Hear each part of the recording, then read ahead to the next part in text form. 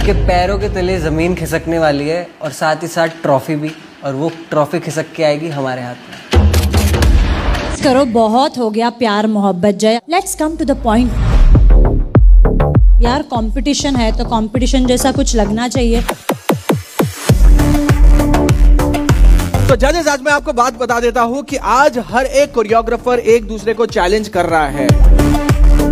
तो जजेस हमारे परफॉर्मर है हर्ष एंड प्रतीक। हम देखते हैं कि किस कोरियोग्राफर ने हर्ष और प्रतीक को चैलेंज किया है। उनके पैरों के तले ज़मीन खिसकने वाली है और साथ ही साथ ट्रॉफी भी, और वो ट्रॉफी खिसक के आएगी हमारे हाथ में।